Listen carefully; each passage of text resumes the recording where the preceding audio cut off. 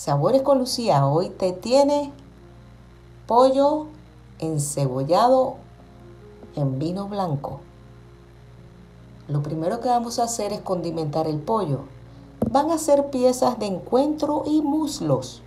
Puedes usar solo muslos o encuentro.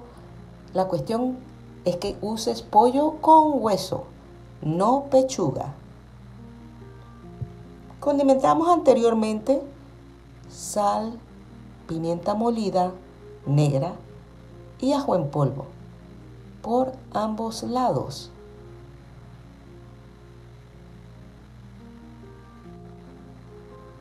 Después de este proceso, yo lo coloqué en el refrigerador por unas dos horas para que vayan compenetrándose los sabores. Después de las dos horas, lo saqué y coloqué donde se va a cocinar el pollo mantequilla.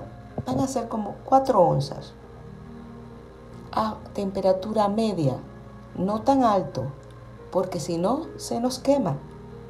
Y procedemos a colocar el pollo por la parte de la piel. Mira bien, la piel. Y así van a ser todas las piezas. A temperatura media, si es por número, va a ser un número 4. 4. De 4 a 6. y vamos a esperar que dore el pollo. No vamos a, levantarlo hasta que esté dorado por un lado.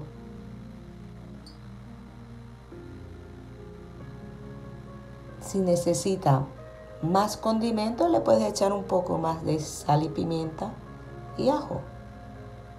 En otros casos, las personas usan tomillo. Es una hierba aromática exquisita y le da mucho sabor a las comidas pero en este caso vamos a hacerlo un pollo sencillo, pero con mucho sabor. Mira cómo doró. Volteamos.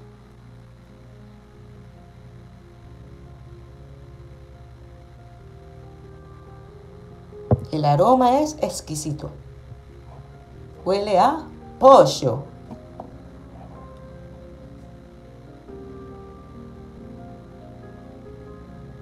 Gracias por visitar mi canal. Saludos a todos los que me ven. Me encantan sus comentarios. Ahora procedemos a colocar las cebollas blancas enteras, no las piques, enteras. Vamos a usar de 4 a 5 y una taza y media de vino blanco. No vino seco, vino blanco, uno que te puedas tomar uno de esos, porque lo va a hacer mejor. Estamos oliendo cómo está quemando el alcohol. Tenemos que esperar que queme el alcohol del vino. A la misma temperatura, un poquito más a 6, y procedemos a cubrirlo. Este proceso va a durar de 30 a 40 minutos. Es depende de la temperatura que lo coloques tú te vas a dar cuenta cuando ya la cebolla, vamos a probarla, si está blanda y vamos a, listo, y vamos a probar también si el pollo está listo. Prácticamente el platillo está listo. Vamos a probarlo. Luca la consistencia de la salsa. Después de unos 35 minutos, quita la tapa. ¿Para qué? Para que él vaya secando y secando la salsa, no tanto para que quede jugoso. Listo, ahora vamos a ponerlo en un plato con unas deliciosas papas rellenas, arroz, puedes acompañarlo con ensalada. Gracias por visitar mi canal, Sabores con Lucía. Espero lo hagas.